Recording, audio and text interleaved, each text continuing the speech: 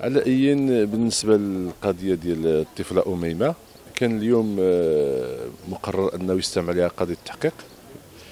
آه، السيد قاضي التحقيق ارتأى أن يؤجل آه، إجراء التحقيق معها إلى الأسبوع المقبل يوم الخميس مع العاشرة صباحا حتى تستقر الحالة النفسية للطفلة خاصة أن في هذا الأسبوع هذه كانت تعرضت لواحد المحاولة ديال الانتحار.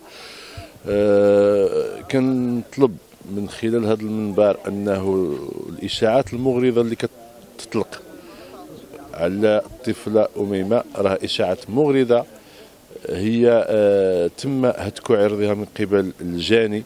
الخبرة الطبية أكدت ذلك على أن الاعتداء آه الأخ اللي تعرضت له الطفلة أميمة هو السبب المباشر اللي كان في الاغتصاب ديالها.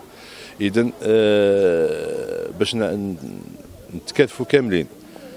على أساس انها نساعدوا أميمة آه، ترجع للوضعية ديالها الطبيعية إن شاء الله.